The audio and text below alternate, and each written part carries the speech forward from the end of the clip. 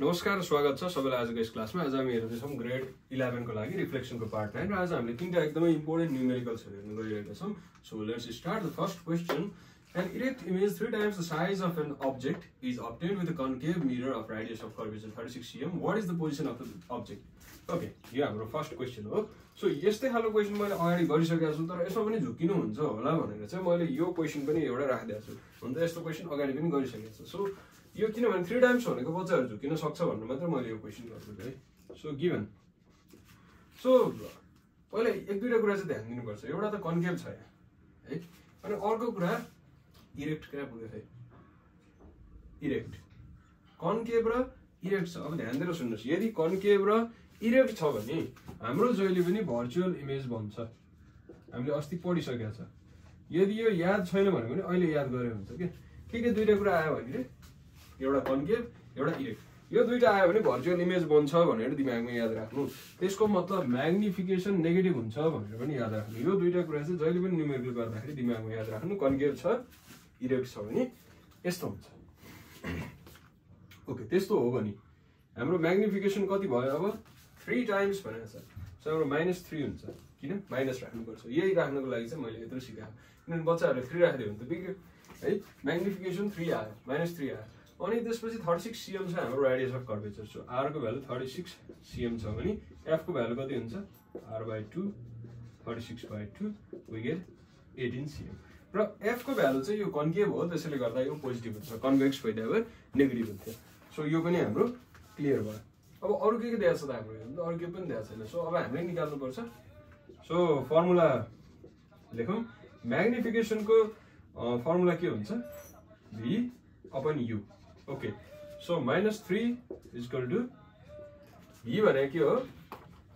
भी भनेको मैले भी नै भनेर लेख्थेँ अनि यु भनेको पनि दुइटैको भ्यालु दिएको छ नि त्यसैले यु भनेर लेखेँ अब अघि नै गरे जस्तै है। Minus three u equal to v or v equal to minus three u यो चाहिँ हामीले पछि युज गर्छौँ त्यसैले मैले यहाँ माथि लेखिदिन्छु यसलाई। V equal to minus three u अघि नै जस्तै ठ्याक्कै थ्री टाइम्स थियो कि पहिलाको क्वेसनमा पनि हिजो क्वेसनमा पनि। सो यति भयो मैले। अब मैले यति मेटेँ है त। सो यो हामीले अब युज गर्छौँ। अब अर्को फर्मुला हाम्रो के छ? One by f equal to one by u plus one by v okay one by f भनेको एटिन छ वान बाई यु कति छ? यु नै छ। One by भीको value minus one by three u यो माइनस चाहिँ मैले सिधै माथि लिएर आइदिएँ है। डाइरेक्ट माथि ल्याइदिएँ नभए एक स्टेप गरेर गरे पनि हुन्छ। So one by u common छ। One minus one by three one by eighteen is equal यसको भ्यालु आउँछ। One minus one by three म डाइरेक्ट हेरिदिन्छु two by three two by three अनि यो युको यु अब क्रस मल्टिप्लाई गर्छु म three u is equal to two into eighteen यो क्रस मल्टिप्लाई गरेको अनि u is equal to thirty six by three भनेको हाम्रो थ्री टुवेल्भ आउँछ होला ओके टुवेल्भ सेन्टिमिटर छ कि मिटर छ सिएम नै छ ओके सो युको भ्यालु हाम्रो टुवेल्भ आयो है युको भ्यालु टुवेल्भ आइसकेपछि चाहिँ हामीलाई के सोधेको छ what is the position of object भनेर सोधेको छ अब कहिलेकाहीँ कुनै कुनै टिचरले चाहिँ पोजिसन अफ अब्जेक्ट भन्यो भने इमेज पनि निकाल भन्न खोज्छन् क्या त्यसैले हामी त्यो पनि निकालिदिउँ आनन्द हुन्छ minus three u minus three into u भनेको के हो ल equal to minus thirty six cm हुन त यो चाहिँ ननिकाले पनि हुन्छ तर कोही कोही टिचरले चाहिँ न्यु खोज्छन् क्या फेरि अब एउटा निकालेपछि अर्को किन निकालिदिनुहोस् भनेर त्यसैले हामी सेफ साइडमा बस्नुको लागि यो पनि निकालिदिनुपर्छ एक्जाममा सो यो क्वेसन हाम्रो सक्यो। यो एकदमै सिम्पल क्वेसन थियो पहिला पनि मैले गरिसकेको छु यस्तै खालको त्यसैले यो एकदमै चाँडो सक्यो। Let's move on to the next question now question number two question number टूले चाहिँ के भन्छ अब हेरौँ त।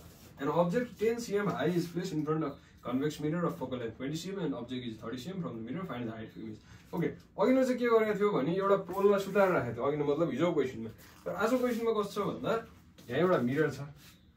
कुन चाहिँ मिरर हो नाम? कन्भेक्स कन्भेक्स भनेपछि हाम्रो कस्तो हुन्छ? यस्तो हुन्छ। अनि एउटा हाम्रो यहाँ हाइट छ। कति हाइट छ यसको? दस। दस छ दस सिएम छ। अब यहाँ बन्दाखेरि कत्रो बन्छ त? त्यो हामीले निकाल्नु पऱ्यो हाइट अफ इमेज निकाल्नु पऱ्यो है सो त्यसको लागि हाम्रो अर्को पनि कुरा दिएको छ thirty cm from the mirror भनेको छ अब्जेक्ट सो अब्जेक्ट डिस्टेन्स चाहिँ हाम्रो कति छ? थर्टी सिएम भनेको छ। सो फर्स्टमा गिभन कुराहरू लेखिहालौँ। गिभन टेन मिटर हाई भनेको यो यसलाई हामीले के भन्छ भन्दा ओ भन्छ। किनभने आई भनेको हाइट अफ इमेज ओ भनेको हाइट अफ अब्जेक्ट है? Height of image height of object okay त्यसो भए यो भयो अनि फोकल लेन्थ हाम्रो कति छ? ट्वेन्टी सिएम छ। मैले एउटा कुरा बिगारिसकेँ के हो त्यो? कन्भेक्स भन्ने बित्तिकै फोकल लेन्थ माइनस। जहिले पनि यो बिर्सिने होइन क्वेसनले माइनसमा दिँदैन हामीले आफै माइनस गर्नुपर्छ त्यसलाई। अब्जेक्ट युको भ्यालु हाम्रो छ thirty cm. Object distance thirty cm छ। अब त्यसको हाइट अफ इमेज निकाल्नु पऱ्यो। अब त्यसमा वी हेभ फर्स्टमा म के गर्छु भन्दा एफ र यु भेटेपछि म भी निकालिदिन्छु है। One by f equal to one by u plus one by v or minus one by twenty अनि त्यसपछि one by thirty plus one by v or minus one by twenty जस्ताको जस्तै यो यता आउँदाखेरि माइनस हुन्छ minus one by thirty one by v अब यो डाइरेक्ट क्यालकुलेटरमा थिच्दै हुन्छ है यसलाई त्यो उ गरिराख्नु पर्दैन क्या टाइम वेस्ट हुन्छ इक्जामको लागि यतिकै गर्ने भयो त गऱ्यो भने चाहिँ म डाइरेक्ट लेखिदिन्छु कति आउँदो रहेछ माइनस वान बाई टुवेल्भ आउँदो रहेछ minus one by twelve one by v so हाम्रो भीको भ्यालु चाहिँ माइनस टुवेल्भ सिएममै छ सिएम आउँदो रहेछ। सो भीको हाम्रो आयो न हामीलाई भीको भ्यालु निकालो भनेको छ हामीलाई के निकालो भनेको छ हाइट अफ इमेज भनेको छ सो हामीलाई म्याग्निफिकेसनको फर्मुला थाहा छ भी अपन यु भीको भ्यालु माइनस टुवेल्भ युको भ्यालु थर्टी सो हाम्रो भ्यालु कति आउँछ माइनस टुवेल्भ थर्टी म यहाँबाट direct लेखिदिन्छु it is minus zero point four metre so यो भ्यालु पनि हामी म्याग्निफिकेसनको फर्मुला राख्यो अब लास्टमा के हुन्छ भन्दा म्याग्निफिकेसनको मेन फर्मुला अर्को पनि छ त्यो के हो i upon o so i upon o or magnification value zero point four is equal to आईको value कति छ आईको भ्यालु छ हाम्रो। कहाँ पुग्यो खै आईको भ्यालु निकाल्नु पर्ने आईको भ्यालु छैन। ओको भ्यालु चाहिँ हाम्रो कति छ टेन छ। ओके टेन छ भने minus zero point four ten is equal to i therefore i is equal to सो यो मलाई अलिकति बिग्रे जस्तो लाग्यो है। एकछिन minus zero point four into ल ठिक छ ठिक छ मिलेछ। सो फोर सिएम आएछ ठिक छ। माइनस फोर सिएम आयो। अब यहाँ ध्यान दिनुहोस् है। यो माइनसमा छ होइन। तर त हाइट हो नि त। त्यसैले हाइटलाई चाहिँ हामीले प्लसमा लेख्नु पाउँछौँ। त्यसैले therefore i is equal to four cm मात्रै भनेर लेख्नु हुन्छ। किनभने हाइट माइनसमा हुँदैन। माइनसमा आए पनि यो चाहिँ माइनसमा नलेख्ने। सो हाम्रो एन्सर आउँछ फोर सिएम भनेपछि दस सिएमको कुरालाई घटाएर यसले चार सिएम बनाइदिँदो रहेछ। लगभग आधीभन्दा पनि कम गरिदिँदो रहेछ है त। सो यो हाम्रो यो पनि सल्भ भयो। Let's move on to the next question now the last question